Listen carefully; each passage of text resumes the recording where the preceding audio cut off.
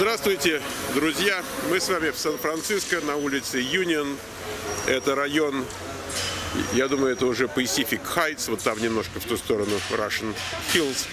А, Кафе, в которое мы идем покушать, это кафе. Излюбленное место Шерон Стоун, если вы, конечно, друзья, понимаете, о ком идет речь. Вот мы сейчас туда отправляемся. Вот, вот, вот туда, вот туда. Вот вы видите название кафе, вот вы видите некоторых посетителей тут. И мы заходим внутрь. Мы пришли внутрь, тут очень мило. И нам говорят, можете подождать 15 минут, а можете пойти на улицу посидеть. Ну, мы думаем, пойдем на улицу, посидим. А если замерзнем, потому что денек сегодня такой не самый а, теплый. Хотя вот вроде солнышко появилось, а то было прохладно. Попробуем там присесть. If it's too cold, then you move it inside. Попробуем присесть? Да, вот нам говорят, подождите, говорит, пару минуточек, мы вас вот там и посадим. Тут мы оказались с другого угла как бы этого кафе. Вот там улочка идет. Мило, красиво. Сан-Франциско. Тут тем домам, которые оригинальные, так, лет по сто.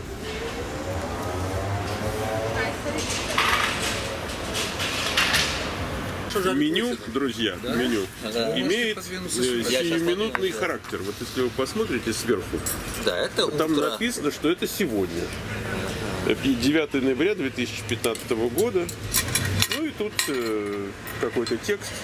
Мне на самом деле трудно с текстом, потому что тут то солнышко, то тень. Вот тут, где мы сидим. Значит, вот, вот нам пришли.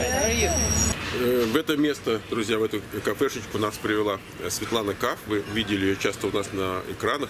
Я хочу сказать, Светлана, что при поиске на YouTube эм, «Иммиграция в США» там примерно из 20 на первой странице, там 6, иногда 7, иногда 8 наших видео, а половина из них вы. Вот. Вообще сказывается как-то? Как-то вот есть какие-то люди с YouTube на вас падают? Да, конечно. Очень важно увидеть, ну, почти живем. Да. человека. То есть э, проникают в доверие ко многим людям, когда они послушают YouTube. То есть смотрят.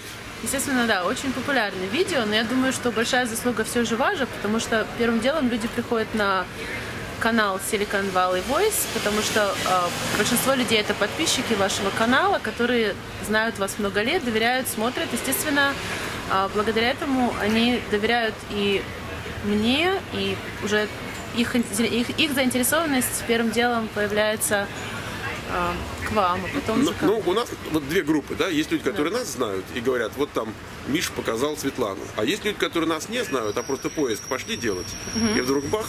Эм, скажите, пожалуйста, вот вы заказали мимозу. Вот скажите нашим э, зрителям, мимоза это как? Мимоза такой же приятный напиток, как сам цветок мимоза. Так. Такой нежный, желтенький. А, состоит всего из двух составляющих. Шампанское и апельсиновый сок. Очень чего больше? прия- Примерно напополам. Так.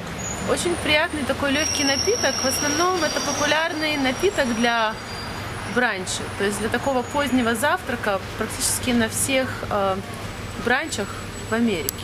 Понял. То есть и, и каждый из вас, друзья, кто откроет бутылочку шампанского, возьмет сока, апельсина, это есть в, любом, в любой стране, э, помешает один к одному, может чувствовать себя, как будто он в Америке.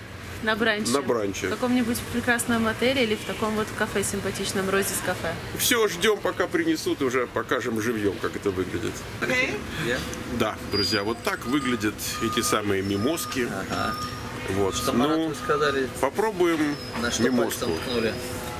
Эм, Я, друзья, как принято по нашим традициям, э, дегустирую у вас на глазах, и вот это шампанское с соком чем пахнет. Ну, будем на вкус, так я не, не могу разобрать.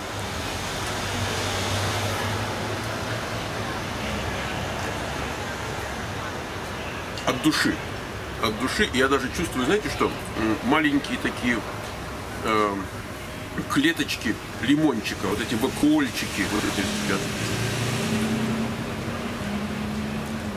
Хорошо, рекомендую. Так что обратите внимание, что посудка небольшая. То есть мы не литрами, а мы так по чуть-чуть, тем более мы на дороге, нам еще машину вести и так далее.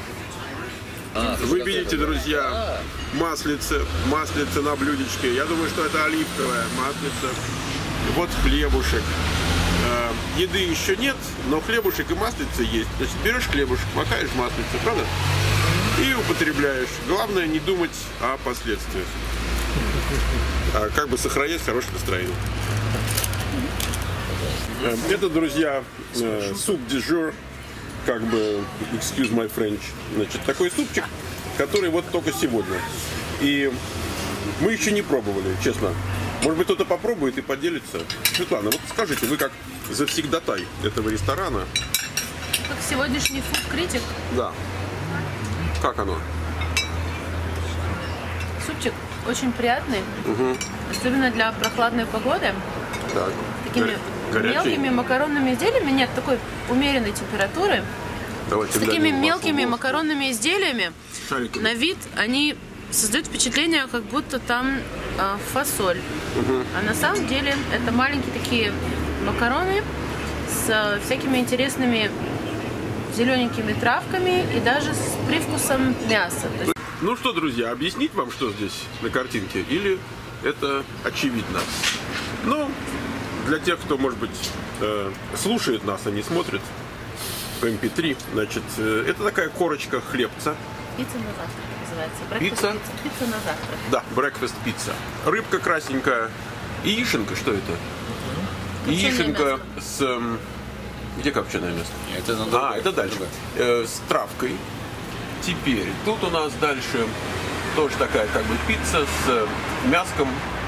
Мы сейчас все это будем шерить. Нас много. Ну, как бы, достаточно много. А тут вот, значит, Натертая картошечка натертая, жареная. Это сметанка сверху, что это? Это яйцо пашот. яйцо. Это яйцо, друзья, пашот. только ослепление ярким солнцем может оправдать тот факт, что я этого не вижу. Хорошо, да. Да, и сверху травкой тоже посыпанная ароматной. Я не чувствую запах, потому что, а, ну, не чувствую, все. Вот, так что мы приступаем. Приступаем, друзья. Невозможно удержаться.